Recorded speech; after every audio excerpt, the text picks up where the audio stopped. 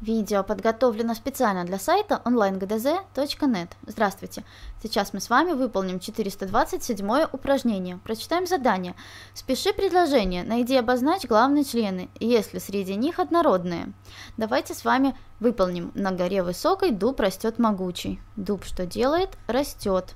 И над ним несутся бури, громы, тучи. Что делают? Несутся что бури, что громы, тучи. Вот зима пришла, серебристая, белым снегом замела поле чистое.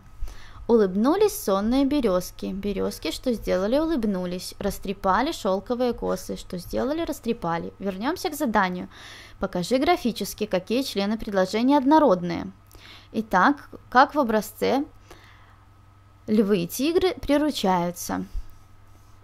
Найдем с вами однородное подлежащее, бури, громы, тучи и составим такую схему.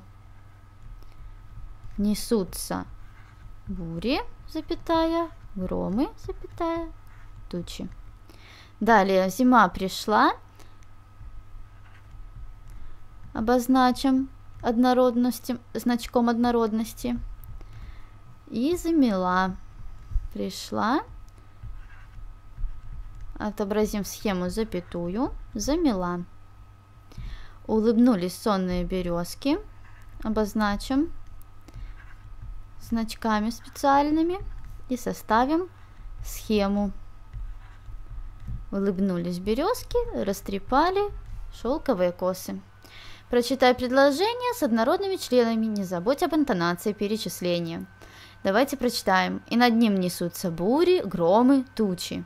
Вот зима пришла серебристая, белым снегом замела поле чистое.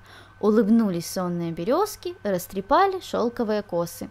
На этом все. Больше видео вы можете посмотреть на нашем канале, а если у вас есть вопросы, то задавайте их в социальных сетях. Ссылки под видео в описании. Спасибо за внимание.